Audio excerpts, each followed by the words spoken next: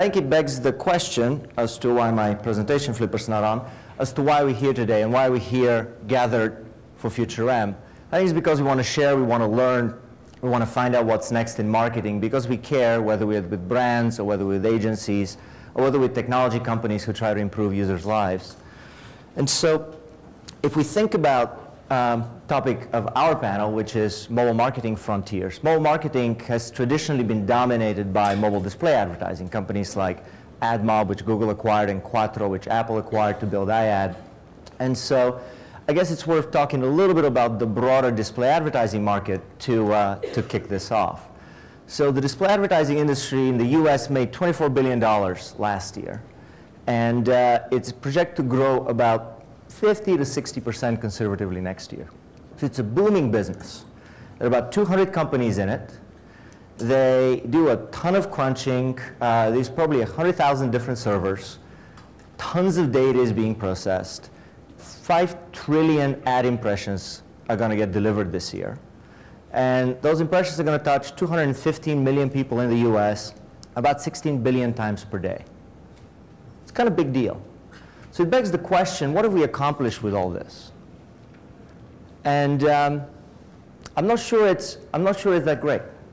Uh, if you look at the Seth Godin quote, it seems to be a war going on between marketers and consumers uh, we're trying to get people to be more excited about advertising, but the truth is, advertising doesn't work that well.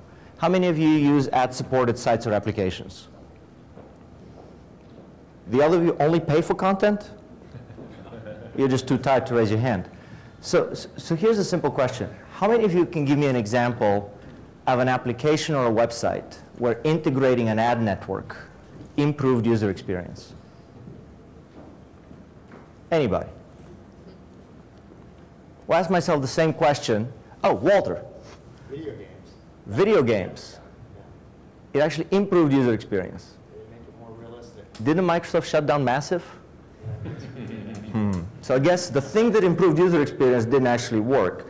That's, uh, that's, that's not good. But, but the fact of the matter is bad user experience, it's a negative externality on the entire industry right? Because it ultimately hurts advertisers, because people are not engaged, and it hurts publishers and app developers and site owners, because the experience that people get when they go on them sucks.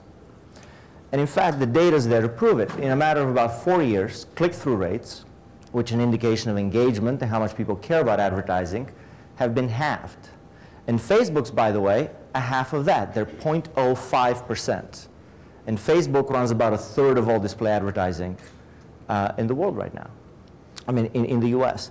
So it's actually a pretty, a pretty sorry state of affairs. And um, I think we all need to challenge ourselves to actually make marketing valuable to people. And I'm very hopeful we can, especially in mobile, because mobile is the innovation frontier.